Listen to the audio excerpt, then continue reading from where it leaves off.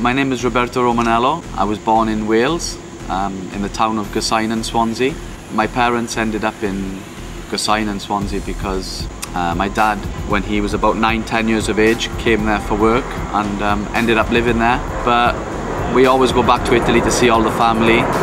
We have all everybody there and we try and get back there two, three times a year, which I, I enjoy doing. I only found poker five years ago when I had a nasty accident playing football. Broke my leg very badly, my right leg. Then become, all of a sudden, within two years, I become a professional poker player. So here I am, traveling around the world and um, trying to win some more major titles. As far as poker goes, I've played more or less everywhere around the world now. Um, have a lot of experience and um, I'm here in Venice and um, it's been an amazing trip, you know. Um, I had a deep run here at the WPT Venice you know, the Italians, they like to have fun at the table, which, you know, I'm full, full-blood Italian. Um, Napoletane, from um, a, small town in Morcone. It's near Benevento. As much as the Italians love having fun at the tables, um, I do as well. So it's been a great experience. We've had some, some fun and played some big pots. I look forward to coming to Italy to play a lot more.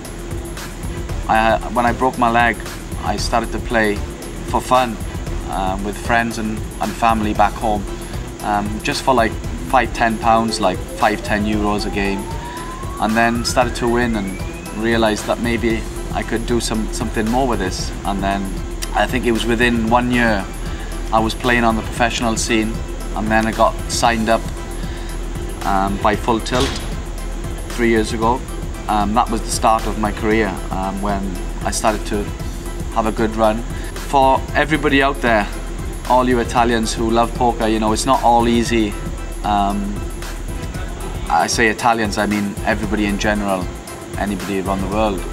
Um, I played for two years, I, I, made a lot of final tables, but I couldn't crack down a major event. Um, very hard. Um, but then experience brought me through. I used my experience from a lot of my final tables to finally crack one in big EPT event with a big field in Prague last year. Um, very emotional day for me because I let everything go, you know. Um, when I won that, that was more or less felt like the best day of my life. I achieved something that I felt that I've been trying to do for a long time. And then straight after, within two months, I go and win a WPT in Bratislava. Um, and then everything came from there really. I won like a big poker Poker Lounge series on TV. I won the European Open before my wins. So I've had a good run and um, I've had some deep runs and won some, some good side events at the EPTs as well. So hopefully there's a lot more to come and um, you'll see a lot more of me. That's, that's what I hope anyway. On for the Triple Crown now that I have a, an EPT and a WPT. Um, I've come close with two final tables at the WSOPE twice um, for a triple crown. But um, it's very tough, you know. But um, hopefully I can crack that. That would be an amazing accomplishment if I can do that. So yeah, um, that's what I'm really looking forward to is um, a triple crown. Yeah, um, I didn't do too much crazy things here because the Italians like they're crazy. They don't fold much or whatever. Like if I'm like four, five, six bet, then usually it's against a very good player. I didn't do too much of the crazy betting with, with the Italians here in Venice, but um, I think I had like one four bet, but that's as far as I went. But like if, you, if I'm on a table with a lot of good players, it does get, you know, a little bit crazy and we're all testing each other to the limits. The Italians are crazy enough, there's no need to get too clever with them, you know? But um, I've enjoyed the trip. It's been amazing, and um, I'm looking forward to coming back and playing a lot more with them. I used to be big trash talker when I first started, you know, because um, I used to play with a lot of crazy players, and um, coming back here to Italy, sort of like brought out my trash talk, and um, you know, I really enjoyed it. I, I seem sometimes to to do well when I use my trash talk, but um, it depends who's on the table. You know, they have to be some crazy players on the table. If, if you start hearing me trash talking, it means that there's some there's some there's some crazy Italians or crazy players on the table, and um, that's what's happened here in in Venice. And um, I've enjoyed it all. It's been good.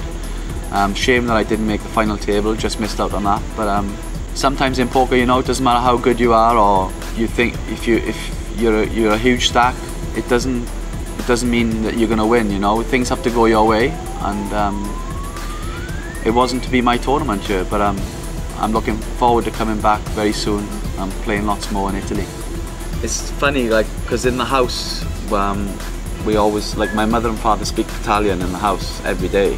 So like, I feel like you know I'm I'm definitely I feel Italian inside. You know, through and through. Italian blood. I got full Italian blood, and um, when Italy play in the World Cup, um, my house is like crazy. It's like it's every, only thing I think about is Italy winning, and um, I love going back home to see my, my everybody back home in Italy, all the family, and um, we're a very very close Italian family. My mother, she cooks every day for us the best pasta, and I get we're very very spoilt.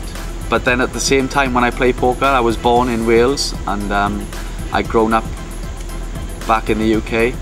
So when I I feel, and I'm always with my I travel with the UK boys, so I feel I have to like sort of represent Wales as well, um, the UK, because that's what I've grown up, and that's the people that I'm with every day.